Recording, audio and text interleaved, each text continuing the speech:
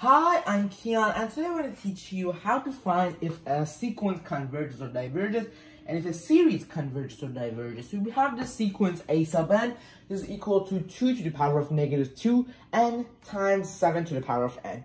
So the first thing we should do to find if a sub n uh, converges or diverges is to uh, take the limit as n approaches infinity of a sub n, which is 2 to the power of negative 2n, multiplied by 7 to the power of n.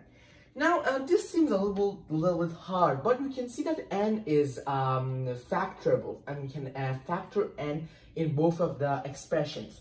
So if we factor n, we can see that this expression became the limit as n approaches infinity.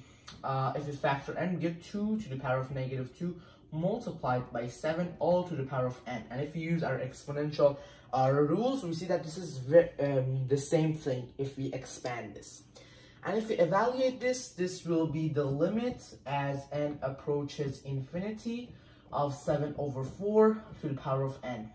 Now we see this, um, this expression, uh, expression is um, a geometric series and it's getting uh, bigger and bigger. Um, and if we plug in 1, it's 7 over 4. If we plug in 2, it's 49 over 16. And we see it approaching infinity. So if we plug in infinity, anything to the power of infinity is infinity. So we can say that a sub n diverges to infinity. So now we have done the first step.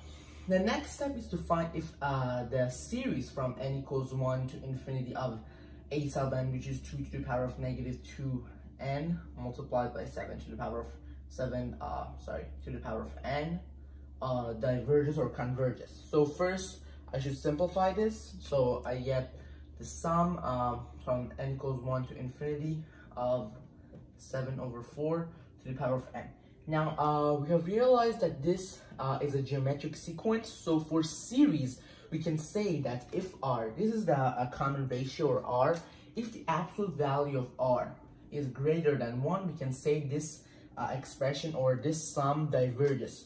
So if we use um, this rule for this, we see that absolute value of 7 over 4 is bigger than 1 because this is just uh, 1.75 and it's bigger than 1. So we can say that this expression, this sum, uh, diverges